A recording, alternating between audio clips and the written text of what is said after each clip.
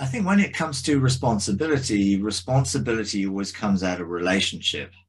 And therefore, if I'm in relationship with the Father and I'm beginning to grasp the vast sons of his thoughts about me as a son, then I'm going to begin to operate out of that and therefore not out of lost identity. So the more I'm in relationship with the Father who gives me identity as a son, the more easy it is to act out of that identity rather than trying not to act out of something I'm not.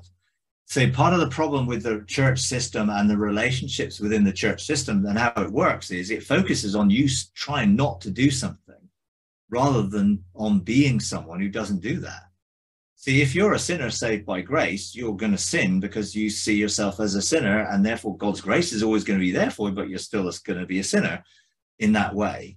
Whereas if you see yourself as a saint, as a son, then that is who you're going to operate as. Now, there may be occasions in the process of having our minds renewed to the fullness of what sonship is, and that comes out of the relationship of engaging with the vast sum of God's thoughts about us we realize more and more about our true nature, and therefore we operate out of that true nature more and more rather than the process that we're in. And of course, we didn't start from a neutral position of having nothing.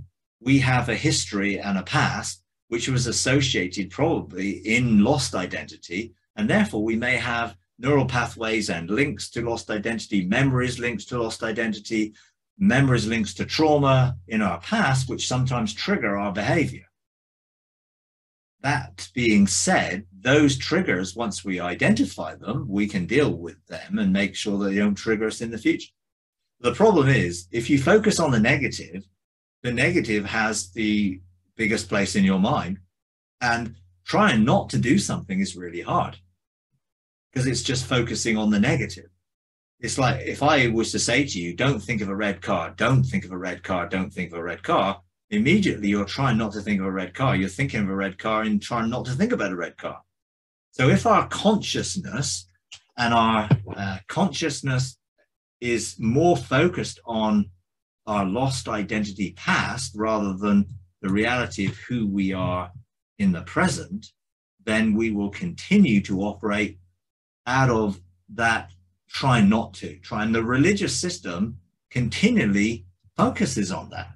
The religious system continually focuses on the negative and try not to be this negative. Well you're not that person that is not the true you so the more you focus on the true you as a son of god the less that negative behavior has a part to play in your life but, but there is a renewal of the mind's process, and we continue to realize making sure we do not get into guilt, shame, condemnation. Because God will never bring guilt, shame, condemnation on us if we operate out of, in the process, out of an area in our lives which is still focused on the trauma or something that's happened to us or associated with the triggers to our previous experiences. God understands and God wants us to focus on the fact that we're already forgiven and we focus on forgiveness consciousness. So we declare our forgiveness, not declare our ooh, repentance and sorrow. Doesn't mean we aren't sorry if we do something which has hurt somebody else or ourselves, but that's not the focus. The focus is on I am forgiven. I thank you, Father, for your forgiveness you've already accomplished in me. I'm forgiveness focused, not oh, oh, I'm a worm. I'm no, oh, look what I've done. I'm so sorry. I'm terrible. Because all you're focusing on then is is actually out of that area that was broken or negative. Don't do that.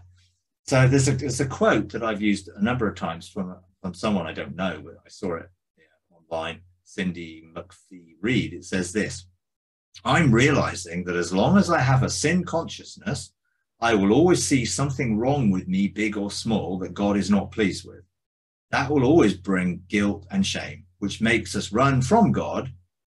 Love, grace, and righteousness consciousness will always bring peace and joy. God is always smiling over us. So if we have that understanding and that mindset, then that will bring about the process that we go through in which we don't need to think, oh, I need to take responsibility for my behavior. I need to take responsibility. the more you're in relationship with God, the more sonship responsibility will focus on not changing your behavior, but outworking your true identity in everyday life. But it is a process. Just make sure that you don't get caught up in failure. You're not a failure, you're a work in process. So you're being renewed, your mind is being renewed, and it's okay. And God understands that through that renewal process, sometimes we will focus out of the things that are not yet renewed. But that doesn't change who you are. Who you truly are will begin to bring about that renewal of your mind because it will come out of the relationship and got the vast sum of God's thoughts about you that He has about you that He wants you to come into the reality of. If you enjoy these videos, would you please take a moment to like, comment, and subscribe? It really does help. Thank you very much.